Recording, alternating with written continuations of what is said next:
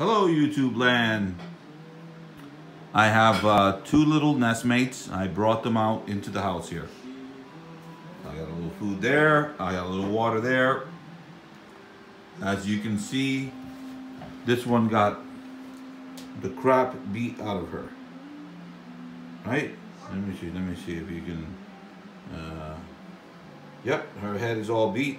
That's her brother. He's a gorgeous grizzle. She's a gorgeous print with a little bit of uh, just, oh, you know, like some nice black tips on her. Okay, so uh, let's see if this can focus properly. There you go.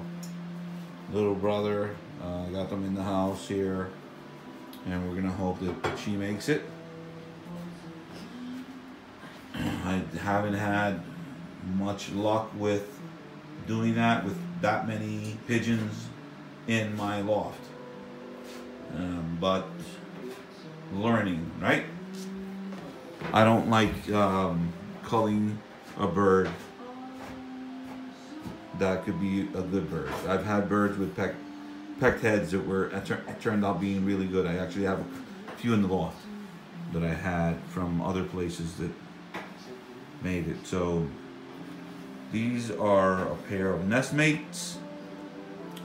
They are going to spend some time together. I've got food and water for them. I got a nice little cage for them. They're in the house. So no excuses, guys. Stay tuned. Don't forget to hit the subscribe and the notification button. Make a comment. Don't make a comment. Say something. Don't say something.